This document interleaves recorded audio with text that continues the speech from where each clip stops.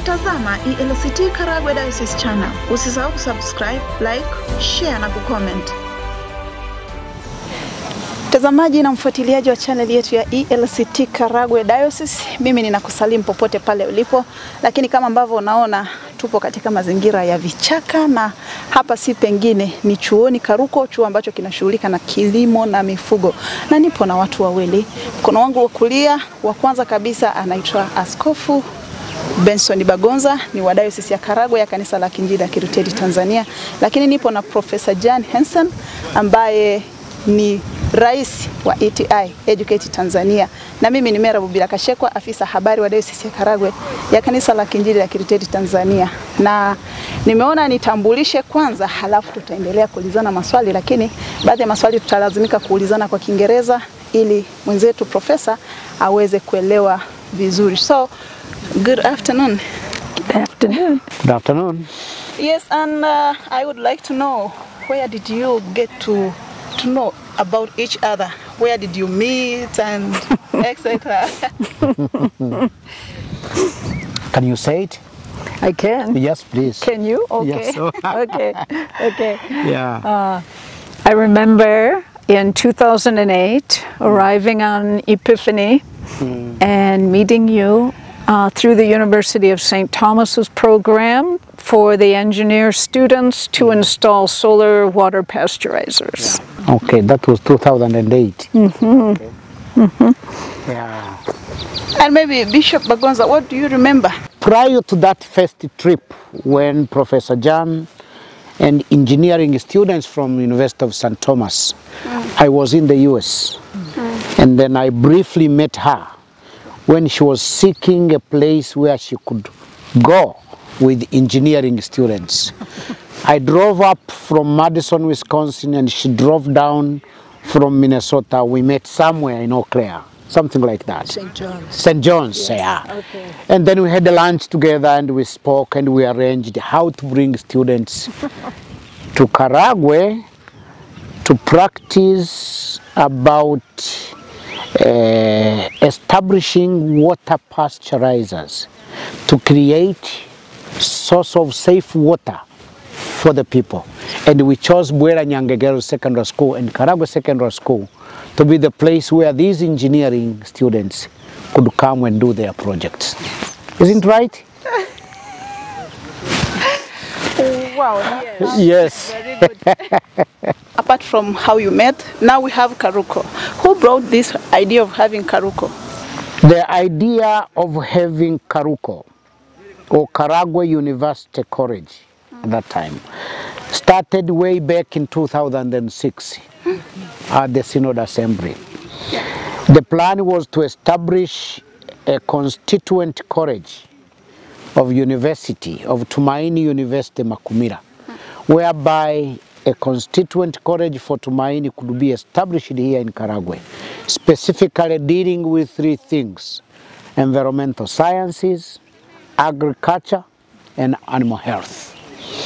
So after the synod decided, um, the late head teacher of Karagwe Secondary School, late Kabarim Joseph, he took upon himself and me uh, to start troubleshooting how we could realize.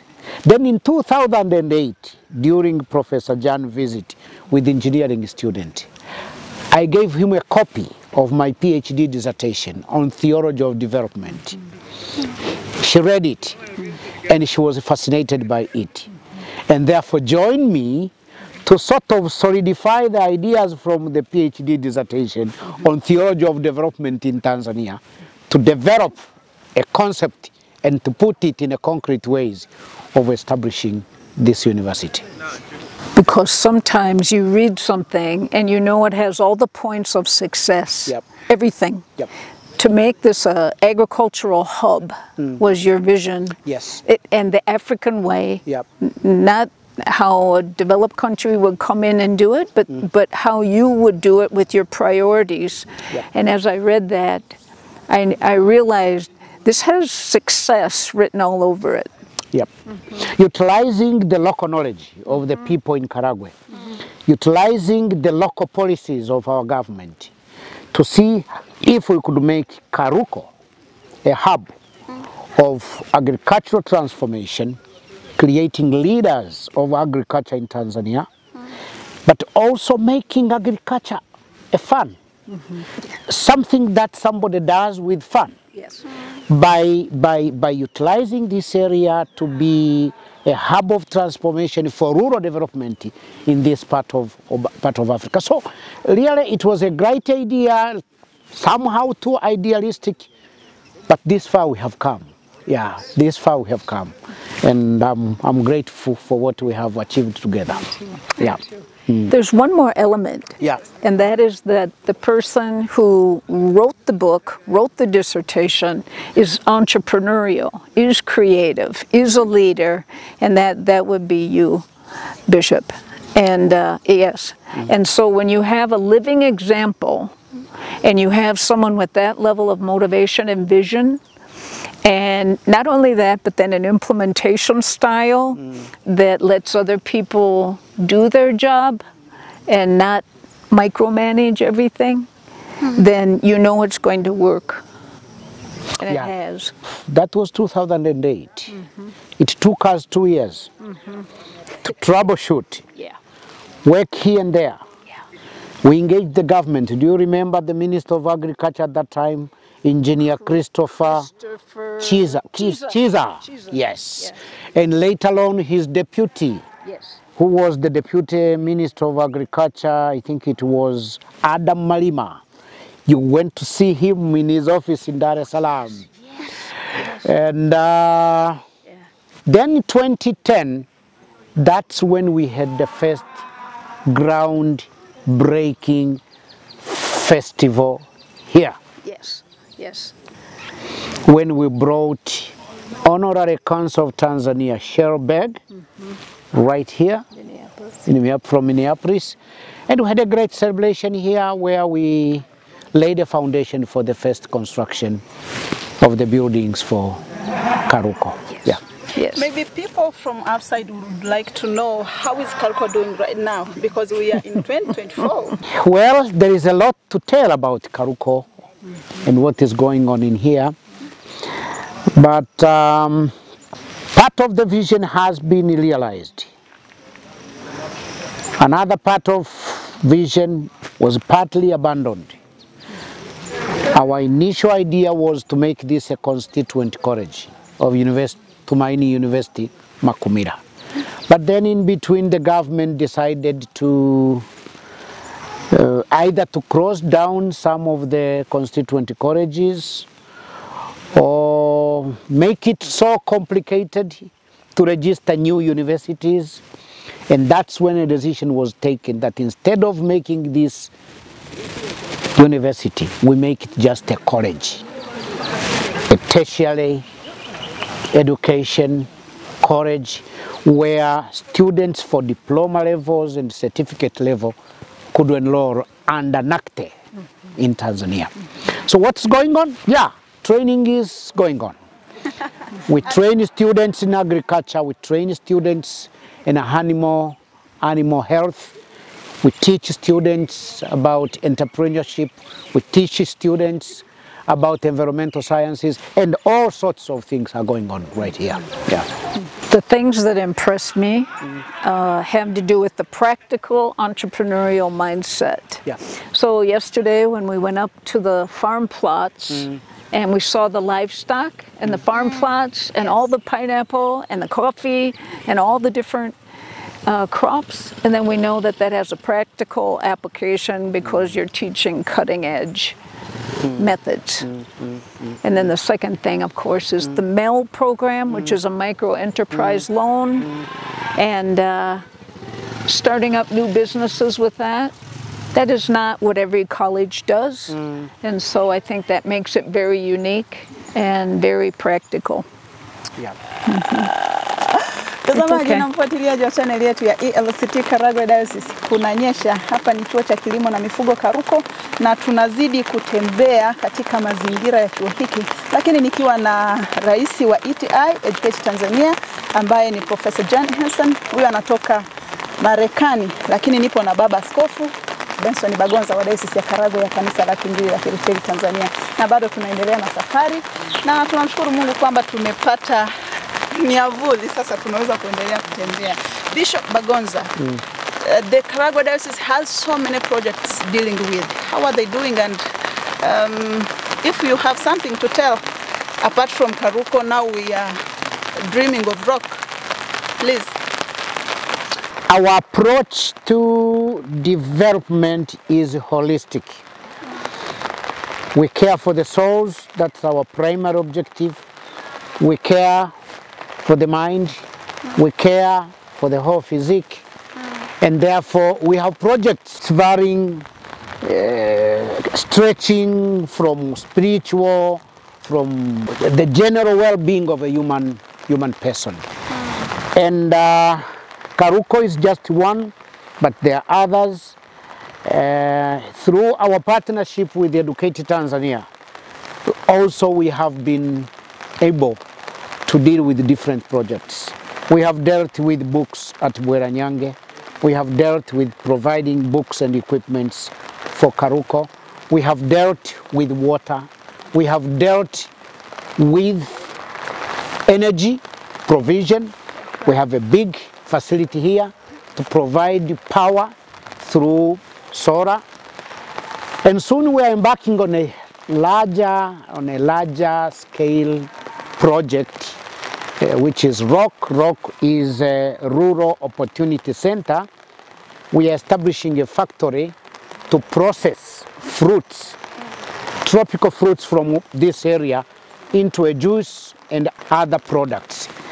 And we are doing this out of our concern that producers, small scale farmers in the rural areas are being exploited by the middlemen.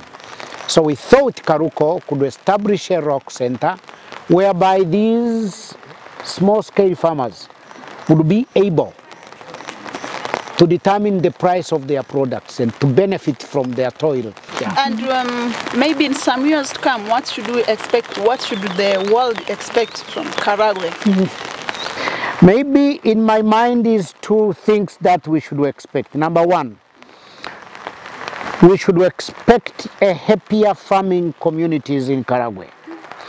People who go to labor in their farms, produce products, sell them at a better price, improve their lives at home, improves their farming activities, and therefore they become happier. That's one that should be expected from this area.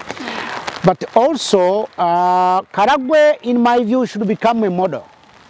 Should beca- become a model, a society that is striving to transform rural development through agriculture. Mm. And therefore, those who would like to learn how to transform rural agriculture, rural development, we expect this to be a center of excellence where they can come, learn, engage how to do in order to transform rural communities. Or maybe, Professor, what do you say? Mm.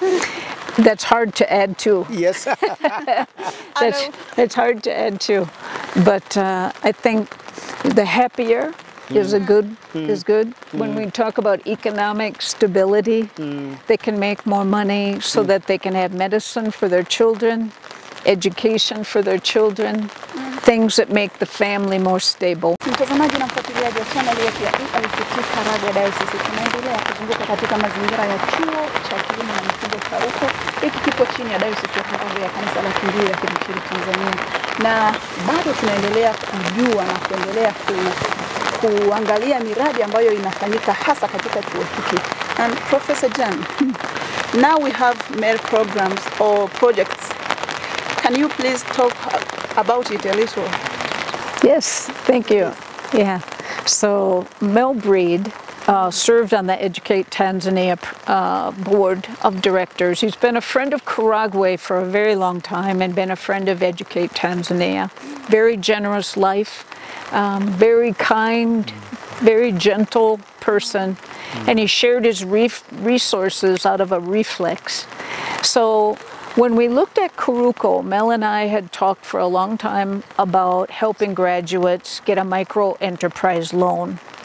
And after Mel passed away in 2021 from COVID, we implemented a program for Karuko graduates to apply for funding to start up a business. And they had to know what the goal was, what the budget was, was it sustainable, gender equity, justice, and did it help the community? And I'm very happy to say that there are nine new businesses started up mm-hmm. and that they're all repaying their loans. Mm-hmm. And those funds will be used to support new businesses in the future. Mm-hmm. So that is a very good legacy and it's also very optimistic and hopeful. Dr. something to add, Bishop Bagonza? Oh yes, uh, Mel Breed he started as a personal friend, then became a friend of the diocese, then became a friend of ETI, then became a friend of individuals, and now is a friend of people whom he didn't even know, Yeah. a friend of the unknown. Through his wealth and generosity, he had offered um, this program by which graduates of Karuko are invited to submit business plan, apply for loans to start business, and business should be related either to agriculture or animals. And then they do and return that Loan. loan slowly until they clear it. So we are creating a young generation of business people who are uh, oriented in agribusiness and animal businesses. And that is very, very important. So today we had a special, a special memorial service here at Karuko. As you heard, Mel Breed passed away in 2021 during COVID and uh, he was cremated and part of his ashes were dedicated to be kept here at Karuko because of his good partnership with this college. So his ashes were laid today at a memorial site here at Karuko where we are going to build a special center for MEL for graduates to be able to use that house at that center to plan their businesses and activities. So it was somehow somber today, that's why we are dressed in black to remember Mel Breed and his generosity, a humble man that impacted many lives and touched many lives here in Karagwe. Yeah. Oh, may his soul rest in peace. Amen. And back to Professor Jan. Now we have ROC. Can you please um, tell us about ROC? But what do you expect from ROC? What we expect from ROC, that's a, that's a good question, Yes. isn't it? Yep. Yeah, yeah. Uh, as with every transformation, the expectations continue to rise and grow as we move forward. But at this point, um, the bishop had already mentioned family stability and happiness and uh, care for the people, the small people, meaning meaning the people who get exploited and shoved to the margin. This, the ROC will give a place to bring crops and make processed food from that, which adds to the family happiness and adds to the family stability. I see it doing nothing but growing. And I think that with the farming in Karagwe, the expectation is, is that it would grow and grow and continue to be an economically viable business for this area and an agricultural hub. ROC is a, is a huge idealistic program which we are trying to cut it into pieces for practical purposes. And one practical piece is construction of this factory which will do food processing, add value, create jobs, create activities, and thereby sort of implode within Karagwe. Farmers will be motivated to grow more products. Business people will be encouraged to start businesses. Young people will be involved in food processing and thereby the whole cycle really will manifest to bring positive change and transformation in this area. We are grateful up to now for the government of Tanzania for granting us a, a certificate to start processing this, uh, this project. We are meeting here during this week for the summit, which in my view will be final in terms of deciding what to do. And uh, we are meeting with engineer, with architectures, and uh, the site has been cleared. And therefore, we look forward really for a groundbreaking ceremony sometime soon. And there, there will be roaring. Um, it's a multi-million in terms of Tanzanian shillings because we need to purchase equipment, we need to construct this factory, we need to hire, we need to create small contracts with small-scale farmers of how to collect those products. So we are talking about really uh, a 24 hour, 7 days, 12 month activities which will keep us busier in Minnesota at Educate Tanzania, in New York at Architectural Design, in Karagwe at Karuko, mm. and everywhere. So this really is a, is a milestone step that we are taking this week. Yeah. Thank you so much. As we go to an end of our interview, I would like to hear your word of thanks to the ETI supporters. Bishop Bagonza, you're welcome. Well, um, I would like to thank Educate Tanzania board back in Minnesota. But people may know that Educate Tanzania, Karuko, Karagwe Diocese, now Rock, is a product of selflessness decision. Professor Jan was a university professor at St. Thomas University. But upon captivated and hijacked by this vision, she resigned from being a professor and formed what now is called Educate Tanzania Incorporation. Not knowing whether she will be able to succeed, risking a benefit as a professor, she was able to put up this very now growing uh, not, not for profit organization in, in, in Minnesota, which is partnering with us to rearrange all this what you can see here. And therefore I would like to thank you personally, to thank the board of Educate Tanzania, and to thank all those small and large donors that they donate their money, they donate their time, they dedicate their wealth towards Educate Tanzania in order to benefit these people who are unknown to them. You know, the life of saving the unknown is the best life that I can always envision. Yeah. Thank you so much. Back to you, Professor Jan. Um, anything to tell before we sign out? All I say is it's been a two-way street the whole time. Mm. What we've gained has been equal to what we've given, mm-hmm. and we are so encouraged by the people on the ground here. So you thank me, but I thank you, and that means for all of Karagwe. It's a beautiful, beautiful vision, and it will be. I never doubt. It will be. Yep. Thank you so much. Um, Mtazamaji na mfuatiliaji wa channel yetu ya ELCT Karagwe Diocese, mimi ni nani hata nisiweze kuwashukuru hawa wapendwa ambao nilikuwa nao.